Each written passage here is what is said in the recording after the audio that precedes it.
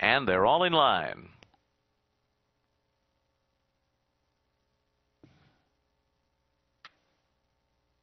They're off.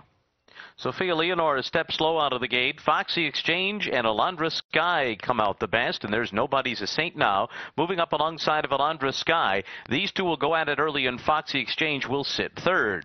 And then it's Boston Garden on the far outside, followed by Geeg's Miracle. Down toward the inside, Nice to Regal, and Sophia Leonore, after a tardy beginning, is racing eight lengths off the lead. The top two go at it.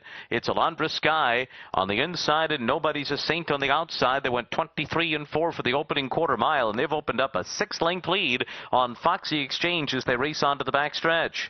It's two lengths more back to Geek's Miracle, just to the outside of Nice to Regal. Then Boston Garden and Sophia Leonore's got 10 lengths to make up as the top two continue to race together on the lead. Alondra Sky by a neck.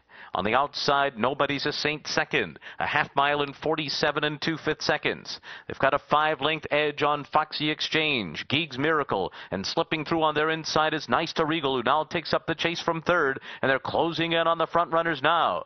Boston Garden is next, and Sophia Leonore is strongly in hand and behind traffic.